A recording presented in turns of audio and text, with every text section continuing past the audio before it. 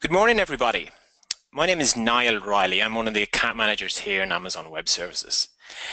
This morning, uh, I'm going to be taking you through the third webinar in a series of three that we've held over the, this month, which will actually cover about building the case the cloud and in how to engage your business stakeholders around it. The, what I what I want you to get out of this is is we're going to talk through a number of things.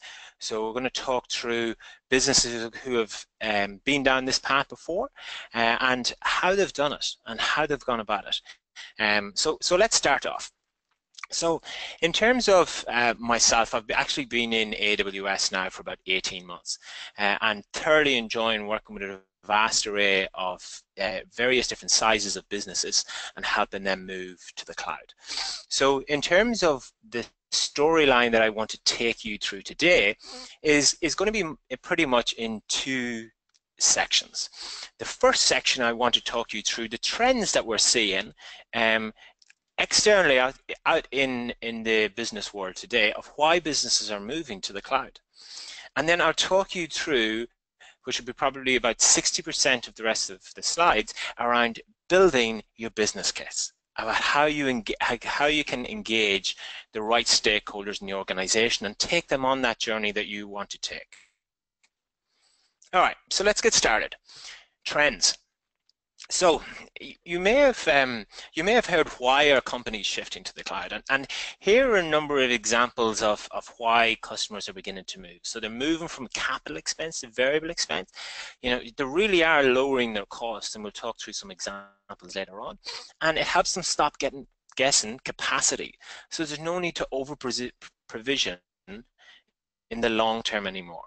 Um, you increase your agility platform for innovation. We're a huge fan of innovation here, and that's one of the key drivers of how and why we want to help businesses move to the cloud. And one of AWS's um, common uh, mechanisms is we want to actually take the undifferentiated heavy lifting away from the businesses and allow them to focus on what they're very strong at, and that's looking after their own customers. So in terms of, um, we've AWS has been around for quite a period of time, over 12 years. So when we started off, we actually seen a number of startups move onto AWS. So there's number of logos here in the slide, and I'm sure you recognize quite a few. Some are local here in Australia, and some are actually global. And the reason why startups moved over to AWS is because it was a very affordable way to help build their business. It's very economical to turn around and spin up servers, spin up databases, and utilize them as and when they needed. Excuse me. So startups really were uh, building on AWS from the beginning. And that has helped the likes of Airbnb grow globally very, very quickly. Now, on the opposite end of the spectrum, you have a lot of enterprises on AWS. And again, I've included some local logos and some uh, lo global logos that you'll recognize. So a lot of organizations organizations here that we've worked very closely with here, even at the CBA. So calling out CBA, for example, they turned around and they were migrating their storage to AWS. And the benefit of that was they're actually able to increase capacity as when they needed, and also from a cost perspective as well. It was going to cost them tens of millions of dollars in savings by moving that to AWS. Okay, so we've touched on some of the various different sizes of customers that have moved over to AWS.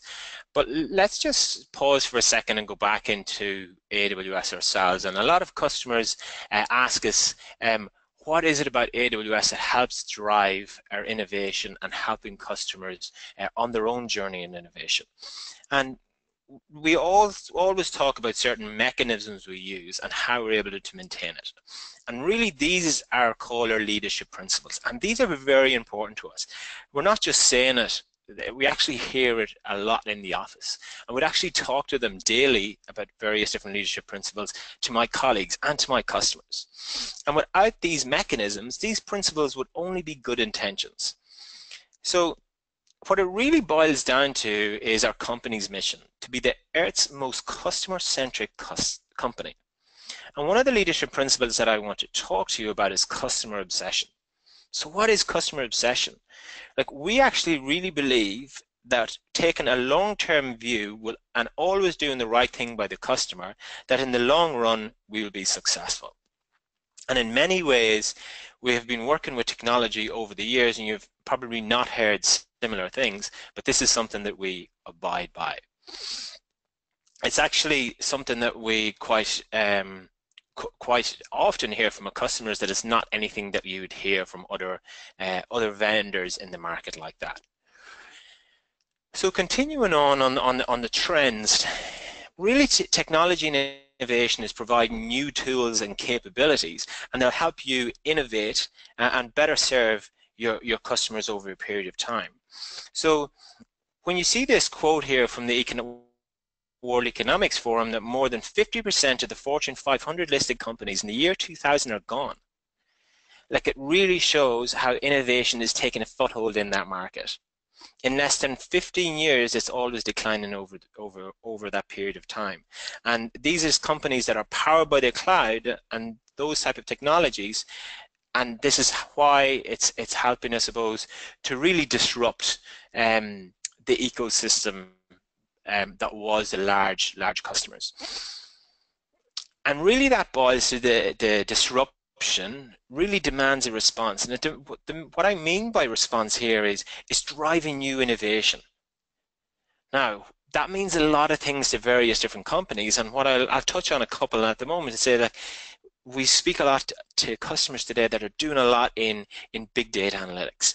And so that enables you to understand your customers and serve them in a more meaningful way. And new technology platforms helps you bring products and services to market faster than ever before. So rather than taking um, potentially months to, to purchase and spin up new servers, it can be done now within hours. But it's really hard to drive real change when so much of the budget internally is just there to help support status quo like, do you know that up to 80% of IT budgets are there and spent on uh, maintaining existing workloads? So organizations that have built up these applications or products over a longer period of time need to be able to keep these standing. So they're not. It's it's that's holding back the innovation within that company because they're spending so much on the maintenance you know, organizations now are built upon complex digital workloads. Like when you see certain applications that are very uh, old, is probably the best way of saying it, is that there's no new innovation coming out of these applications, then it, it, it helps to it helps to wonder how new and innovative startups can build up and build on build at scale. And we ne really need to address these issues uh, when we're engaging with the business and, and building out where you want to go as a business in into the cloud and in the short and medium term. So really that boils down to, and it's uh, how can you respond to the distribution and that's required in a new model. So when we talk to customers, we want to be able to help them to focus on what's differentiating their business. We want to help to retire the technical debt that they've built up over that period of time. We'll always talk to them about how they can innovate like a startup at speed. I talk to my customers that, okay, what does a proof of concept look like to help you on your journey. And what I mean by that proof of concept is what can we do in a four to six week period to help you drive innovation within your business? What could that one tipping point be? So these are a number of things that um, within the new model helps businesses uh, grow. Uh, and even reducing the risk that I suppose the undifferentiated heavy lifting that we take on helps your business again focus on, on what's core to them. So that's so we've covered trends and now what I want to be able to spend quite a bit more time on is is helping you um, get up to speed on how you can build a business case. Now I understand that many of you on the webinar today might be in various different sizes of business. Some of you may be business owners. So I really want to, I suppose, give an understanding of, of this can um, be for various different sizes of business. And you'll find a common theme throughout the rest of the slides that I'm going to talk to you about. So where to start? So where to start when you're building out your business case is very important. So you really want to be able to, um, to establish an effective business case to move to AWS. You really need to understand your applications or your products and know how your organization does them today. So you really want to be very clear and you want to have the right people there to tell you about the applications, about the products, because you want to understand what the existing workloads are today. And then by understanding the existing workloads and applications that you're running today, whether it's in an on-prem or colo environment, you'll be able then to sit down and work out from the from and building up a business case to move to the cloud. And what I mentioned a couple of minutes ago as a common theme is probably what you're beginning to um, evolve around the business is bringing the various different people along with you on this journey. So where to start? Now, I've captured quite a number of different departments within organizations and it comes back to what I just said a, a moment ago. Some of you may have uh, different people within the business under these different um, umbrellas of groups of people that I've gathered people uh, with. But really it comes down to uh, having people uh, engaged along this journey. And this is a very, very important point. It's very important that you bring people along the journey with you and keep them engaged. So let's start off with making sure that uh, from the business side that you you have a, an exec sponsor senior leader that is engaged with you and coming along with you on this journey. You know, you want to make sure and you have uh, the right people involved from the start, and this is very important. So when we talk about uh, the various different applications and the product owners, you need to be able to bring them in and be able to, for them to share uh, what is running the application today, what are the their pain points, where they want to take the application. And bringing them along the journey will help um, will help build the business case as well because it doesn't boil down to numbers at all. It boils down to a lot more than that. You want to talk to uh, your legal and risk team. You want to make sure that they are comfortable uh, on the journey that you're taking them.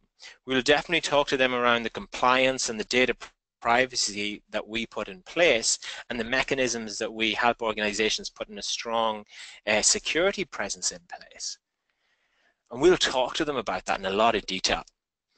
Your architecture team will want them involved as well so they have an input into how does a new architecture could look like or even understanding what the current architecture looks like today. Developers as well. Like what are the devs saying? What do they want to uh, build in the future uh, within that application? Like, is there a certain um, language that they want to start thinking about? Is there a certain product or a new service that they want to start implementing in within the applications that they'll be able to build up? So it's important that you're able to capture um, their feedback and thoughts about being able to really get a very strong indication of your current infrastructure and then being able to define what your potential future infrastructure begin to look like. The other uh, key people in this is, is your internal marketing HR team.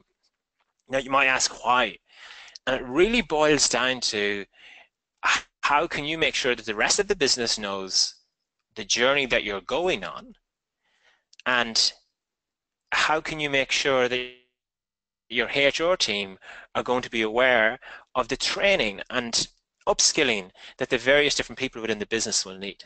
And that will not just be from a technical perspective, but really from a business perspective.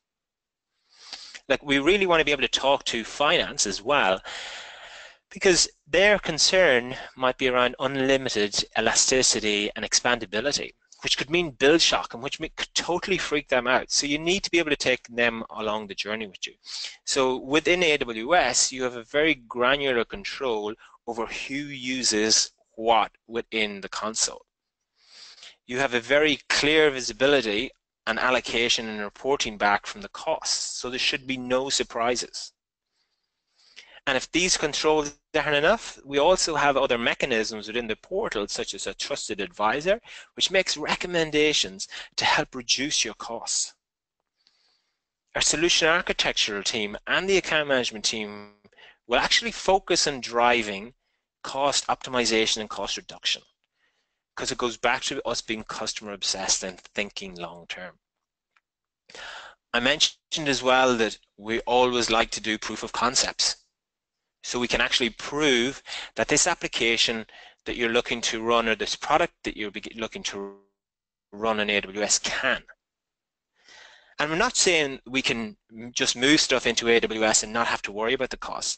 Someone is going to, in your business is going to need, need to take responsibility for managing the costs. And we can do that as well internally here by helping upskill you as a business and by bringing in certain partners if needed to help do that for you. But when it comes to managing it correctly, as a business, you need to be able to be responsible for that like when you talk to your procurement teams, you will be able to spend that's probably spent a lot of time previously on negotiations and everything. You know, like I've been in sales for quite a long time, and I can say that there's, you know, negotiations is not really an enjoyable part of, of a sales role. But the great news is with AWS, these are not needed anymore because we're committed to always delivering the best price our price is very transparent that we have on the website that we actually share with all companies globally of what the price is to use any of our services. But it comes back to being a customer obsessed, we're always looking to drive down costs. Now that actually, what that, let me give you an example of what I mean by this over the last 12 years, we've reduced our, our, prices over 62 times. And this has really got to do the economies of scale that we have by uh, the number of customers moving over to AWS. And really, in terms of the, if there's any volume discounts, we can certainly talk to them um, to, uh, as well with certain customers, although there is certain minimum commitments too. From a security perspective as well, it's a very important concept that we take your uh, security team and your architecture team through a security uh, shared security model. That's very important because security is job zero for us. You know, when customers might ask us, where's our data centers? We actually don't know. We actually don't know where in Australia our data, data centers are. And why? Because it's not important. Like we, we can actually turn around and make sure we have the right compliance in place, such as SOC, PCI, DSS, HIPAA compliance. We have the right controls in place and the mechanisms to allow you to enable that on your side because of the shared responsibility model. Now, before I go to the rest of the slides, it's, it's to, to me, this is one of the most important slides in the deck, the people that you bring along your journey. So I cannot stress enough how it is important for you to take the rest of the team along. Okay, so let's start off next with about understanding, uh, okay, how can we, how can we do this? So we have the right people around the table. What do we need to do next? And it's really understanding this, your existing environment, your existing infrastructure. And we'll do that by having an application discovery and we'll do that by um, by using a certain number of tools to help understand really what you have. And that will help us inform what can and should be migrated across to AWS. So in terms of the application discovery, now, depending on what environments you have today, you may not know or uh, the utilization of your environment. You could have five, ten, a thousand servers running your in your environment today, and where you really want to be able to understand is what the utilization of your environment is. You will want to understand what is interacted with each other. You may believe that you have 500 servers, but if by running certain tools such as RISC, that can happen to understand and go through the network and understand really how many um, virtual machines or servers you have in your environment. You'll actually look to take um, you know your inventory from your CMDB and bring that into it as well. You may have inputs from your your vCenter. You may have in-flight projects that you may be having as well of what potential future um, projects you may need extra servers or uh, databases for. And this will all be brought in as part of the portfolio assessment. And this is critical because you're actually spending quite a bit of time here in understanding what your portfolio is. You'll be sitting down and have an application uh, assessment workshops with the application owners and with the architects and with the developers to really get a strong understanding of what your application is and how that could look in AWS. You want to sit down as well with the operations team and understand how they work today. So it really helps bringing more and more people from around the business in. And as part of that portfolio assessment, you really want to be starting to think out about, okay, if we if we're looking at moving to AWS, how can we make sure we're set up from a best practice perspective from day one? And that's really about a couple of things here. It's about building your landing zone. And what I mean by landing zone is you're setting up your account from a best practice perspective. You're having uh, the right security uh, in place. You're having the right access for people uh, for the various different applications. And it's about building up uh, a cloud center of excellence. Now, what is a cloud center of excellence? It's about bringing the team that and the people along that journey. And what I mentioned is that we provide training from a technical perspective, such as technical essentials, and that's really helping customers to understand, okay, how can I go into the console and spin up various different services and how, how can I shut them down, setting up VPCs as well. And these is training courses that we help provide customers as part of that journey. Additional training can also be provided in helping getting you certified, which is a really good of having certified, whether it's solution architects, involved within your business as part of your, you know, your cloud center of excellence. It might be really important as well to have someone from a business essentials uh, team involved. So Business Essentials is actually one of the courses that we help share back to the business of what is AWS and what the benefits are. So you may want to take your finance team through or your commercial managers, your product managers through that training as well because they're all coming along the journey here as well. So it's really, really important. So now, once I have done the portfolio assessment, we will next move on to be able to understand, okay, we understand future state, great. Now, sorry, excuse me, we understand current state. Now let's understand what future state could be. And we do that through a mechanism that we have is called the 6R pattern. And we do that with all our organizations globally as well. So the six R's, retain, retire, rehost, repurchase, replatform, and refactor. And I'll go through these in a moment, but really this helps boil down to what can be moved into the cloud and what cannot as well.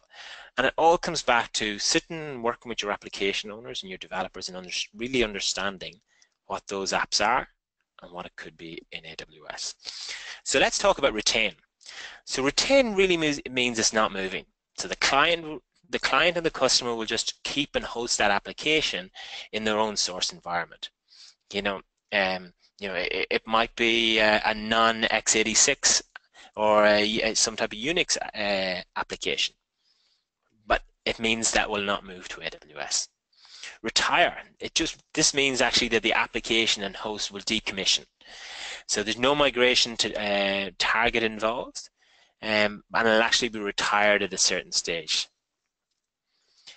Rehost, like many of the applications, migration to move to to the cloud, rehost means it's a like for like scenario. So there's normally minimal effort involved to make the application work on the cloud and that the, there'll be minimal impact into the infrastructure that it has. So uh, uh, like it's a, a simple V, uh, V2V migration. Repurchase means that the application will be replaced and potentially to new cloud native application or to a SaaS platform. So an example of that might be a CRM to Salesforce, or from a storage it might be local to cloud. Replatform. Replatform means that you're, uh, you know, up in the version of the OS that you have or the database onto your target cloud. From a storage perspective, the migrations may not change. So it's really about getting a really strong application, excuse me, it's, it's really about having an application that can be replatformed so it's more cloud friendly. And the replatform and re-architect is pretty much means where you have your OS and your data and your database is porting across. Your really your middleware and application would change to a cloud service offering. So you your database might transition to MySQL to Aurora um, as well. So this is what the, in terms of will help build your business case and understanding of the various different applications which of these uh, segments does your application move across into. And then by building that out with you, we really help to understand what can and should be migrated. So what apps are going to retire? Using this example here of with a, a someone who a customer who's running 467 servers, 10% of their applications are going to retire and they're going to be decommissioned. 74% of them are actually going to be rehosted, replatformed, or re-architect. Cloud native projects would be for new applications, uh, sorry, for new projects that you're beginning to work on. And also in terms of retained, it might be applications that's not a focus or a priority for you now that's moving across to AWS.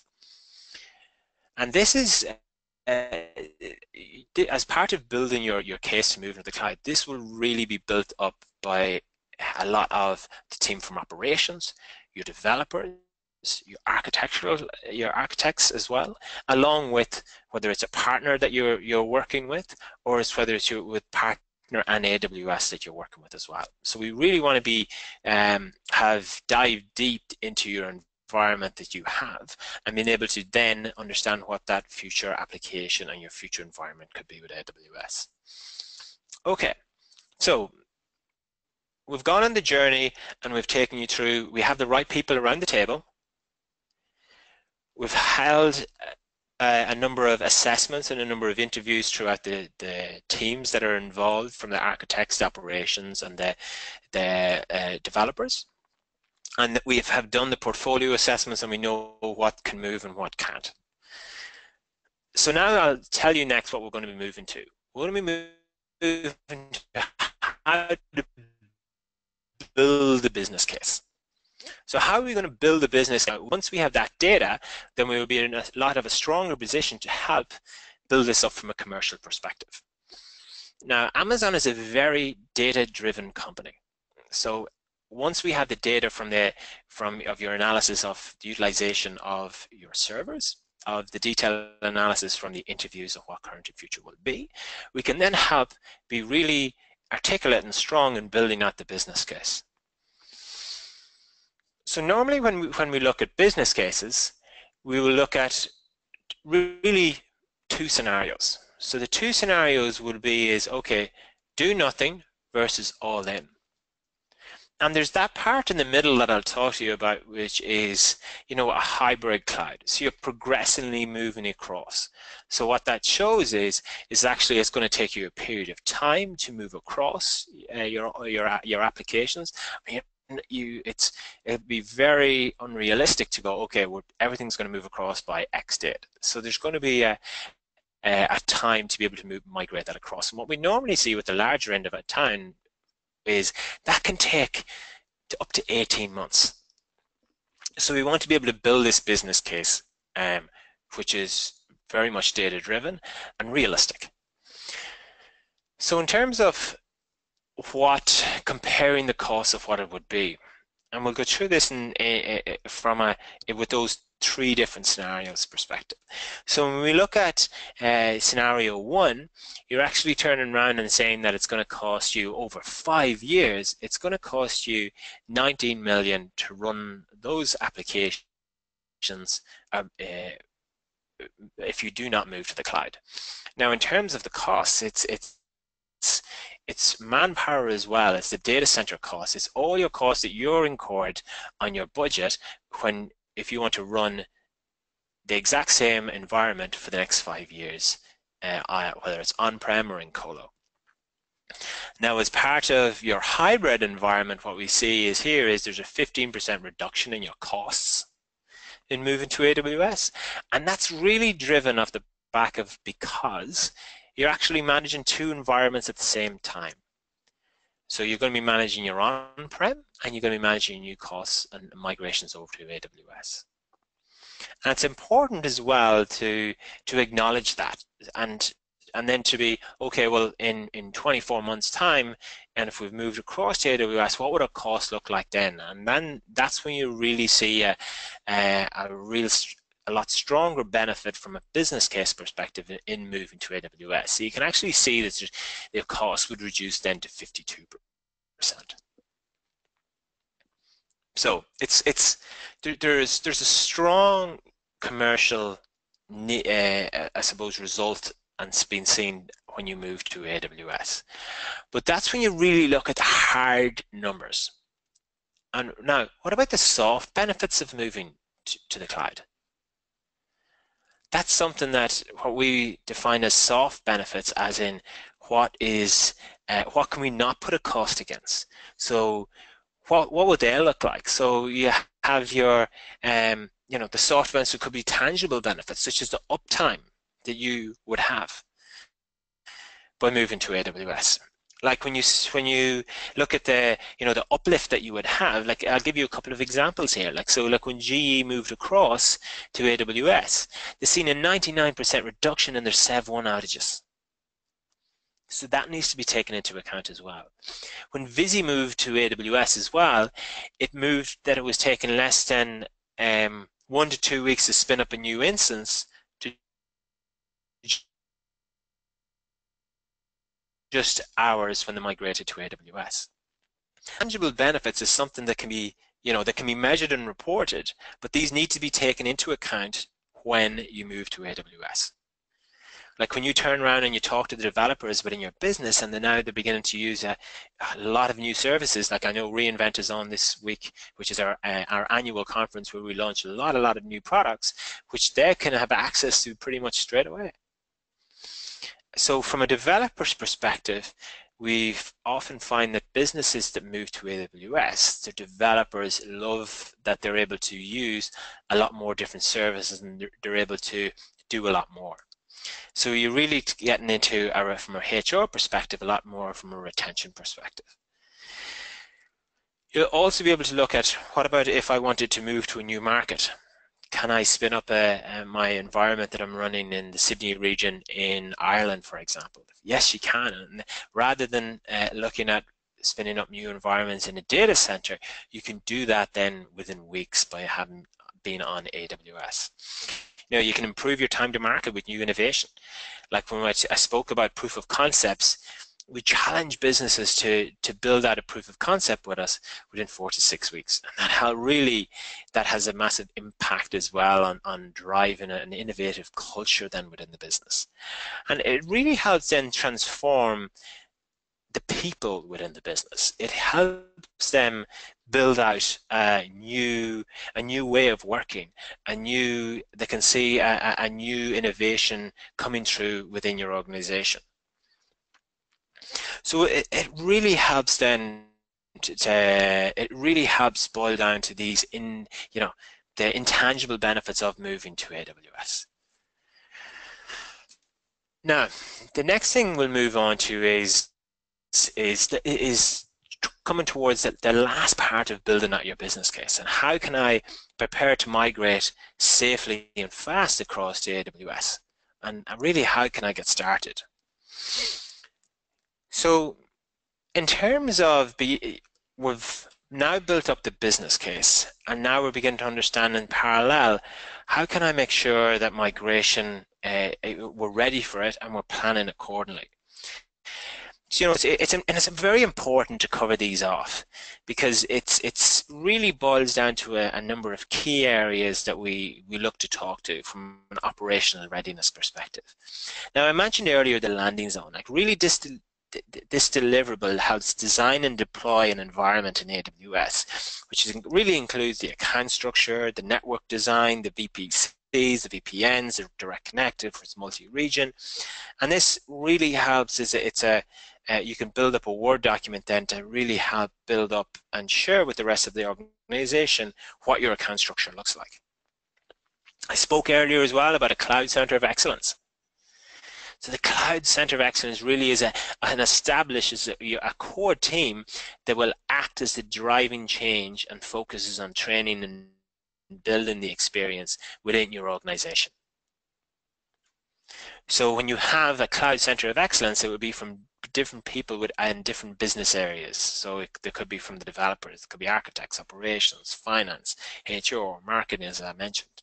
And that really helps uh, educate, and there can be that go-to person to go to with uh, if the other developers have questions on AWS, they can help bring that and they can be your core uh, AWS advocates within the business. The cloud operations model as well determines the structure and the planning of the operations practice for customers to maximize the business benefits of moving to AWS. So it's really important that your operations team is, is, is on the journey here. The security and compliance workstream really assesses and closes the gap and implements the really tight security and compliance practices on AWS. We've got monitoring tools and systems in place that are really industry standard, standard and best practice. So we'll often have a our solution architects go out and talk to our customers and run a best practice uh, review across their environment that they have and identify if there are um, any areas that they can help improve on to, to be able to build that up from a best practice perspective. So we've done that all in line with the portfolio migration planning that we've done. So we've now building up the, we've got the landing zone in place, your core center of excellence team is, is coming together. Your operations team is, is beginning to real, understand and realize uh, how to be able to run their environment in their in, in AWS and they're going to be running that very efficiently. The security team will be across uh, and understand how AWS works and how their new security is probably going to be uplifted. And we have the migration uh, planning session. So really the, the, the detailed um, migration planning session is to understand, okay, what applications are going to be moved and when. So how do you do this? You'll actually be able to build up with your core people within your team, your product, your application owners, your architects, your operations, and your developers. What are you looking to move to AWS and by when? When does it make sense to move this application to AWS? And you would sit down as a team and work that out and how you how it's really important as part of the you know as part of a detailed migration planning session is to be able to understand and not uh, overestimate the work that you're going to have in currently just keeping up the day-to-day -day business that you have at the moment running an on-prem or a colo and then as well by moving over to AWS so it's it's important to set realistic expectations here and in terms of how can we make sure that um, you know going back to what I mentioned is how do I how do I get started and really how we get started here it goes back to the core theme that I wanted to to, to share with you was your internal champions is going to be again from around the, ver the various different business units. These champions as well is going to be for your, you're going to have a senior leadership uh, having a champion there who's going to be your exec sponsor, and you're going to have people from the various different business units that I mentioned involved as part of this journey because it's, it's very important that people are brought on as part of the journey because you want to be a success as part of the migration and part of the new innovation that you'll be looking to drive. So having these, having this core team is going to be important for you for it to be success. Like to give you a couple of examples as well, just, just to finish off before we go to next steps. In terms of building um, out your business case and really building out a, a center of excellence, like the Dow Jones um, migrated its data centers to AWS and will continue continue doing so. And they're going to have a global saving of over 100 million in terms of infrastructure costs. Now I know that's a very large corporate organization but it'll give you the uh, it will give you an indication of the trust that, that the large corporate organizations have in AWS and the impact that we're having on their bottom line and the costs. So with that in mind, you have your team built up then to help you on your journey. Now, everything's pointing at AWS, so how can we help?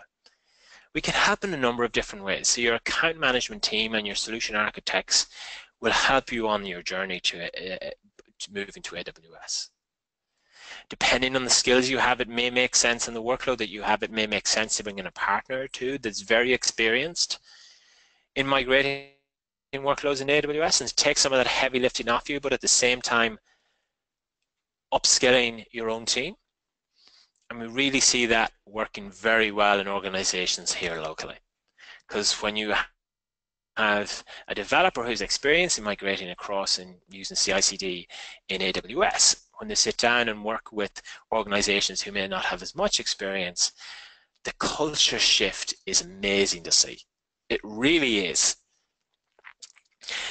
So in terms of um, next steps, like re really it goes back to I want to be able to help you upskill on your journey to AWS. And you can actually do that as we have complimentary half-day AWS Tech Essentials that we have for people who have attended these webinars. So we have someone in Sydney and Melbourne, um, and please feel free to register for them. You have the email address, so you can just send them an email. But as well, anyone that has registered will for this uh, webinar will get an email as well from us too. Um, now, I encourage you as well um, to to turn around and, and to kind of continue continue on your learning. And we have a number of of sessions in place. that we had during the course of of this month um, on why customers are moving to AWS and what are the best practices in place.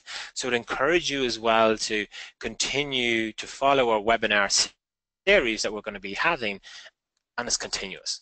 Uh, on, on top of that, we have also a number of lunch and learn sessions in our offices where we bring customers in and talk on a certain topic. Um, and I know in December we're having uh, a, a, we're having a webinar on reInvent Recap, which is all the cool and exciting things that are happening this week at reInvent and that's getting launched. So we then will be able to come and and talk and share with you a, a, lot more detail about those products and services that have get launched next month. So really, um, uh, there's a number of case studies here and, uh, that you can happily go onto our AWS site and read through about their migrations to AWS. Um, and, and, and really I encourage you then to we, we have 10 or 15 minutes now to uh, you know share any questions that you have through our webinar and through the portal. And you know I'm happy to happy to see if there's any any open questions for for myself I can help you answer. And also as well um, I, one thing that's super important for us here in AWS and uh, we wouldn't be where we are today without your feedback so let me, let me, I would really appreciate if you take a couple of minutes to give, uh, to answer the survey and really give the feedback of what you thought in this webinar. Um, relating that back into AWS, let me let, let me give you a data point here to, to finish this off. So last year we released over 1,020 new features and products on AWS, and 90% of those features and products were actually from customer feedback. So it's something that we love to capture and love to take and love to then give back to our, our, our customers. Um, so on that, if you guys have any questions, um, I'm just wondering, uh, let me check to see if any questions have come through.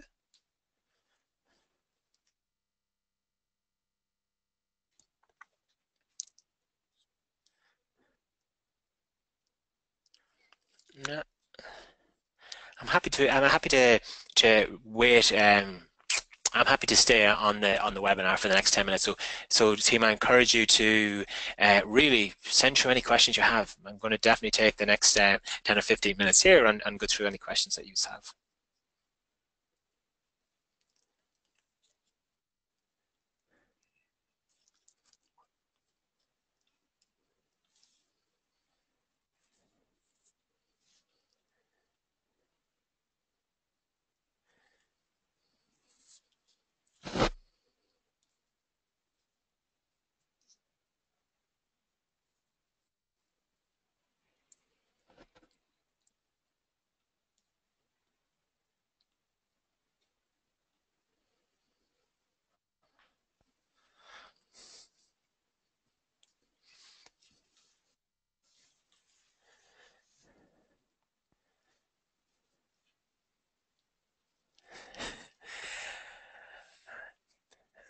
Do you know, I've, I've, I've just got a great question through.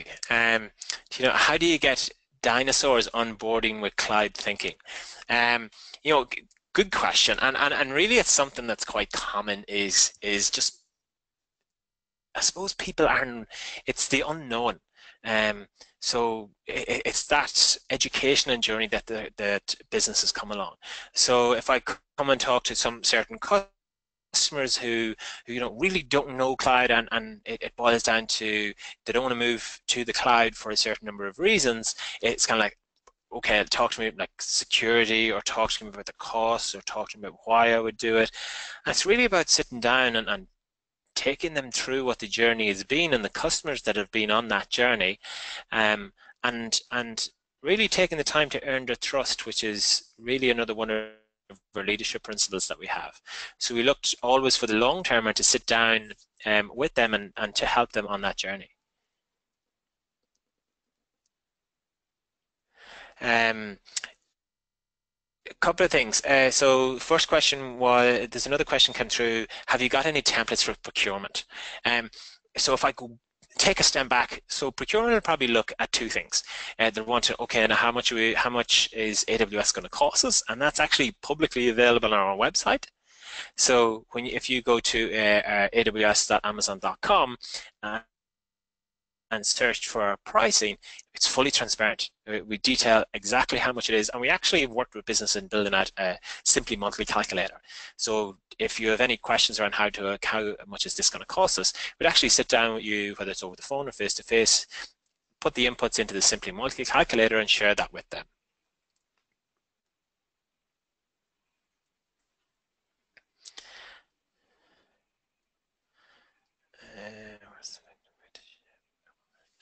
Yeah, so another good question here from um, what is the effective way to shift upper management's mindset uh, to, the, to the cloud? Um, so a couple of things here. Um, when we when we when we want to uh, be able to upskill and educate uh, senior leadership's uh, understanding of the cloud, it goes back to the question that we had a little bit earlier: is is take them on the journey with you. So what have what has been done in cloud um, uh, most of late. So there's lots of use cases uh, on our site on what uh, how customers have innovated.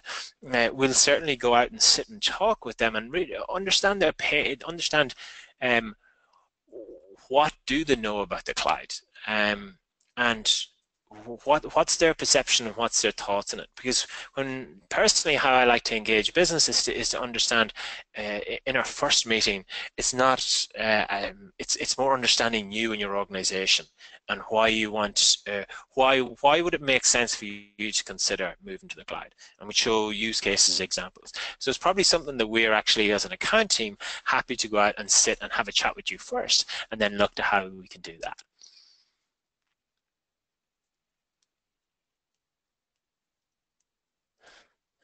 another great question came through is is how do you justify all cloud migration for clients where their legacy systems do not support being moved into the cloud. These are built up over the years and simply can't si simply be retired in some cases. And yeah, that, that, that very good point. Very, very, very good point. And that comes back to the six Rs that we have and we'd actually go, actually, th this has been retained and it's not moving. So uh, you would obviously sit down and work with the team and work with the legacy, work with the application teams and go, okay, if anything, uh, what would this look like in the cloud? Does it make sense? Can it run? And I'd strongly encourage um, you know you to look at a proof of concept. Let's look, let's look at something over four week period can that be moved across? And we're super happy to work with you uh, along with a partner on doing that.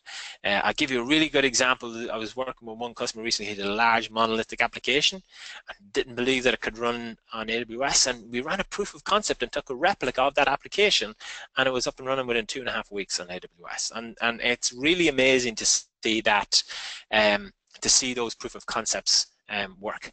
And I'm, I'm, I'm not going to lie, in other cases it may not work and we're okay with that. But let us, let us run a proof of concept and try and work with you on that. Um, another question coming through is, uh, which one is a better option for offboarding? Peering to AWS data centers via direct connects, what's the difference advantages between the two? Great question. And um, it, it comes back to what is the most efficient for you and your business. Uh, so, you know, does it make sense for you guys to have a direct connect? It could. Uh, it could be more cost effective too. Uh, so certainly happy to uh, to work through that. Um, happy to, to come back to you over email on that.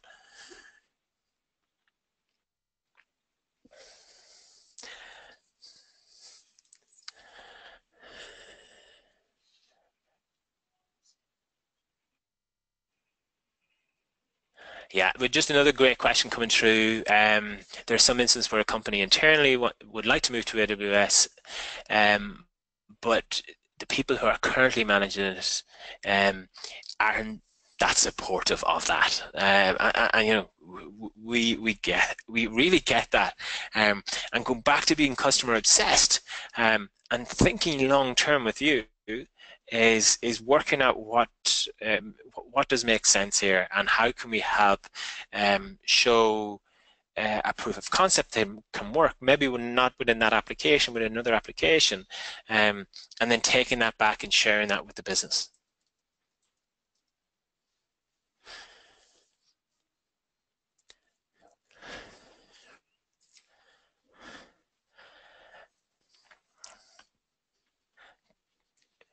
Uh, any other questions coming through? Ah, yeah, great, great question. Someone just asked around uh, what's the steps for proof of concept for AWS? Who's the contact points? So, guys, uh, on the on the back of this, you will get a, a touch point from uh, our team.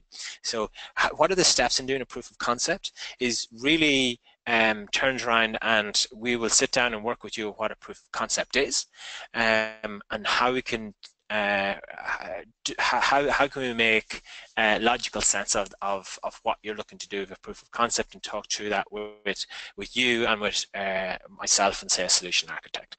So if if you do want to run a proof of concept, definitely I'm super keen in, in, in talking with you and help fleshing that and taking that to fruition. Um, and yeah, it, it's it's not difficult. Uh, we just need to make sure that um, you actually have the support internally to do the proof of concept yourself, or we bring in a partner. Um, you know, and, and, any questions we don't get to answer here, we'll reply to individually via email separately. So, um, you know, if that is everything, um, guys, really appreciate you taking an hour out of your day and, and, and listen to me talk through um, building out your your business case and the stage and the steps of moving to the cloud. Um, you know, any questions you have, feel free to reach out to uh, and drop them in, into the webinar right now. Um, otherwise, uh, thank you very much for your time and um, all have a great afternoon.